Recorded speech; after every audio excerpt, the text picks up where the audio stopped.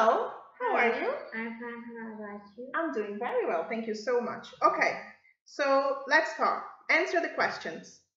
What does she have? She have a tape. She has a tape. tape. Okay. What does he have? He have a scissors. Hmm. What do they have? They have some magnets. What doesn't he have? He doesn't have any pushpins. Hmm. Do they have any calculators? Yes, they have some calculators. Okay. Can you read, please? One. Rock, witch, clam, scarf, vase. Good job. Can you read here now?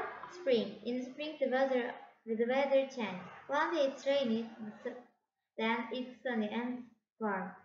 There are lots of flowers and there are and the trees are green. Summer. Summer in Canada is often sunny. Put on your sun hat. Sun hat.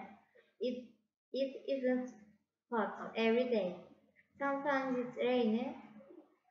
Winter. Winter is cold. It's it's icy and it's windy. It's often snowy. Put on your coat and play outside. Let's make a snowman. Fall. In the fall, the trees are orange and brown. It, it's often rainy and windy. Take your umbrella. Good job. Thank you. You did very well. Congratulations.